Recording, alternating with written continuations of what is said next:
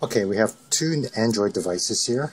The one on the left is a Nexus 7. The one on the right is a Galaxy uh, Galaxy S3.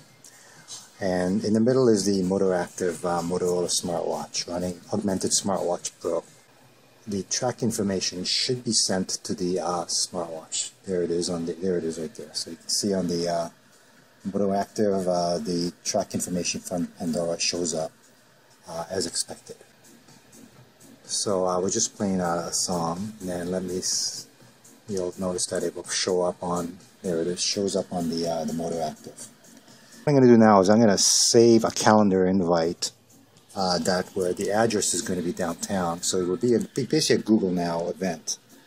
Uh, there it is right there. Uh, it should show, it's also showing, there it is showing up on the, uh, the MotoACTV. Great. A Skype message. Uh, just bear with me one second. I'm going to go test chat. Uh, so the Skype message is going to go uh, on the uh, the end the Galaxy Note on the right.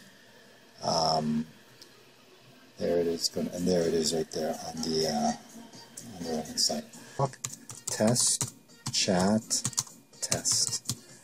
just watch. Hit enter. Um,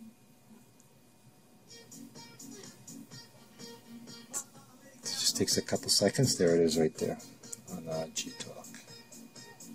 Okay, so that's a demo of uh, Augmented Smartwatch Pro.